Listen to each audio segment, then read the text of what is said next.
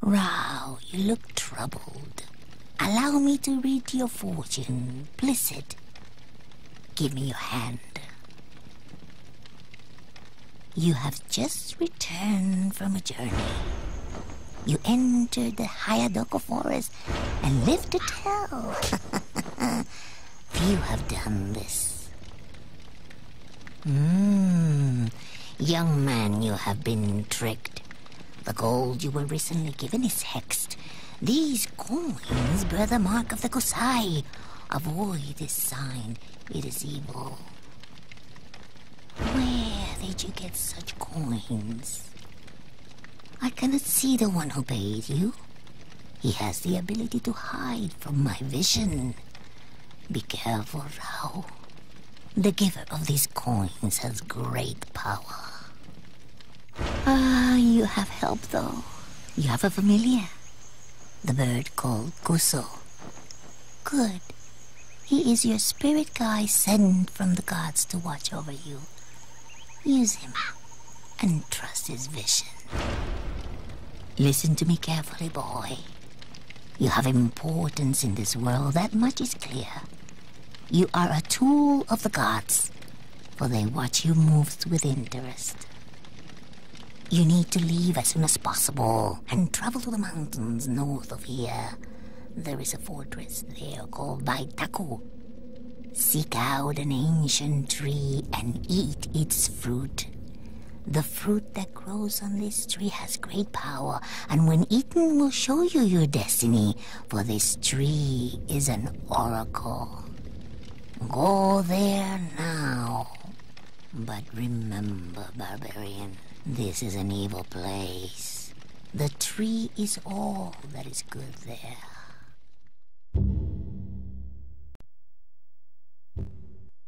Many days did my master travel north in search of the mesa. The story of an oracle intrigued him. Why would someone not want him to know his destiny? He had importance in this world. That is what the fortune teller had said. His life had taken an unexpected turn, and Rau did not know what to expect next.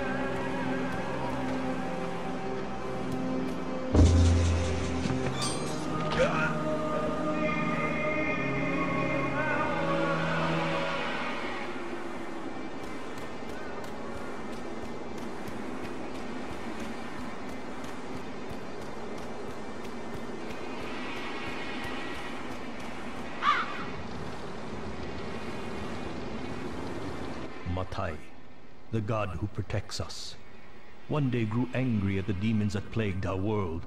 Drawing a great army of men about him, he came down from the heavens armed with Satu, his mighty Taiaha. The sky grew dark with the fires of destruction, while the ground ran wet with the blood of men. A battle that would last a hundred years had begun. Many years passed before high in a stretch of mountains, Matai finally faced Yog Sogor, the demon king.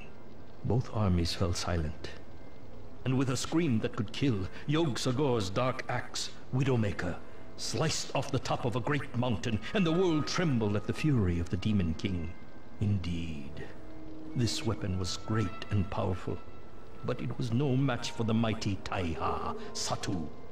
Matai leapt across the valley, attacking swiftly, blowing up a powerful storm around him, and a false night fell across the land. Eventually, the dust of battle settled, and there at Matai's feet lay Yog Sagor. Seeing this, his demon horde scattered, fleeing back to their world of darkness, trapped forever in eternal night. But this victory did not come without cost. In piercing the demon king, Satu had become embedded in the mountain. Matai was a powerful god, but the battle had left him weak, and he was unable to free his mighty ally. So returning to the heavens, he instructed his disciples to construct a temple around Satu, and it be called Vaitaku, the great battle. Years passed, and the weapon that was carved from heavenly wood began to take root in the mountain. Branches stretched from its body, and the weapon slowly turned into a great tree. Not long after, fruit began to grow on its limbs in abundance. Fruit that could open your mind. Fruit that shows the future. Fruit of the gods. Book of the Damned, Matai 3.13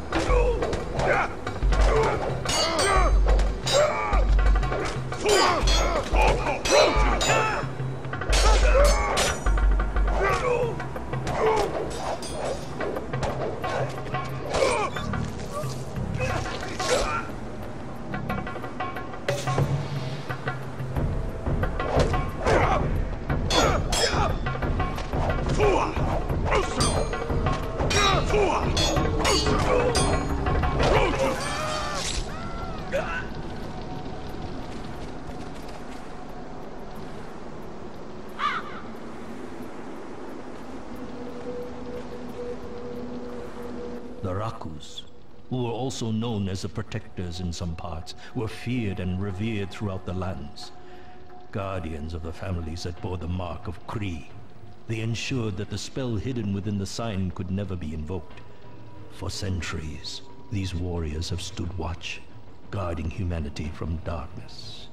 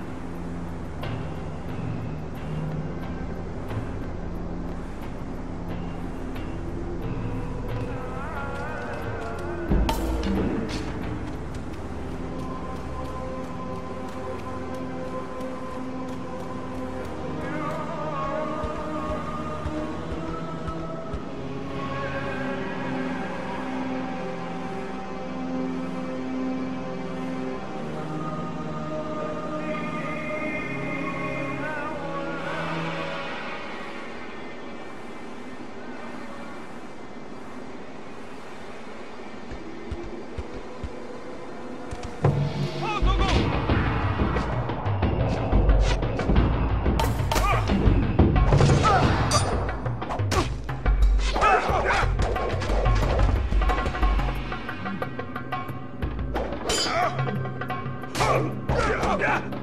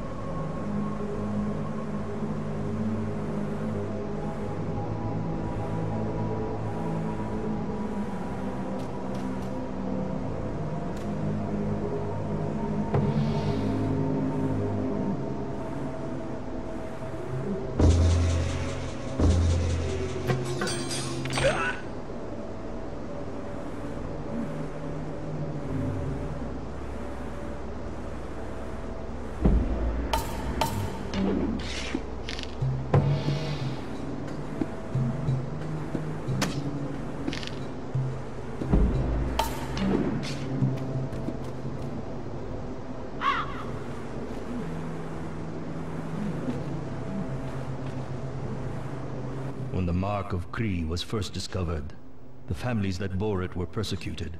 People began to fear the markings for what they could bring. Many people were killed before it was realized that the malediction would not end. When someone with a mark dies, the next born in the family line continues the curse.